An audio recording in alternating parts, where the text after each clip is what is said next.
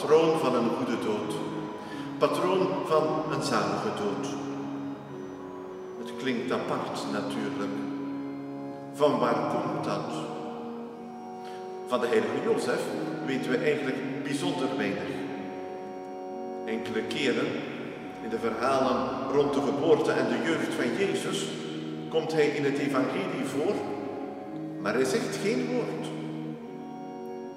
In het missaal wordt in de privatie van de heilige Jozef mooi samengevat wie hij voor ons is. Hij vond genade in uw ogen. Hij is de man die gij gegeven hebt aan de moeder van uw zoon, de maagd Maria. Hij is de goede en getrouwe knecht aan wie gij uw gezin hebt toevertrouwd. Als een vader heeft hij zorg gedragen voor uw eengeboren zoon, ontvangen van de Heilige Geest, Jezus Christus, onze Heer. Over zijn sterven weten we uit de Heilige Schrift niets. Het laatste wat over de heilige Jozef verteld wordt in het Lucas-evangelie is het verhaal over de twaalfjarige Jezus, die samen met Maria en Jozef voor het paasfeest naar de tempel in Jeruzalem gaan. Op de terugweg merken Jozef en Maria dat Jezus niet bij de karavaan is. Na drie dagen zoeken vinden ze Jezus in de tempel. Na dat gebeuren lezen we in het evangelie. Hij ging met hen mee naar Nazareth en was aan hen onderdanig. Zijn moeder bewaarde alles wat er gebeurd was in haar hart. En met de jaren nam Jezus toe in wijsheid en welgevalligheid bij God en bij de mensen. Men gaat ervan uit dat de heilige Jozef voor de kruisiging van Jezus al is overleden.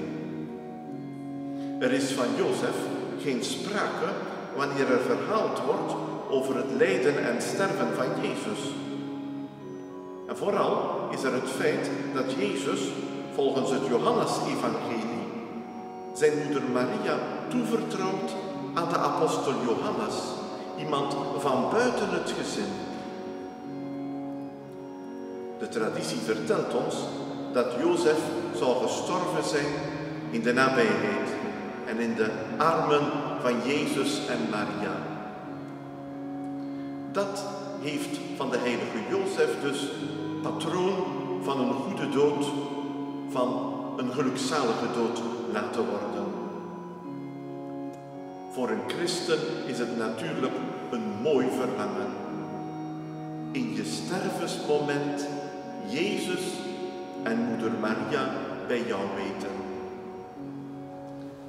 Als christenen zijn voorspraak inroepen als patroon van de goede dood, dan bidden ze dat wanneer het moment van sterven daar is, dat men zich dan ook niet verlaten voelt, maar dat men kan en mag geloven dat Jezus en Maria dicht bij ons zijn.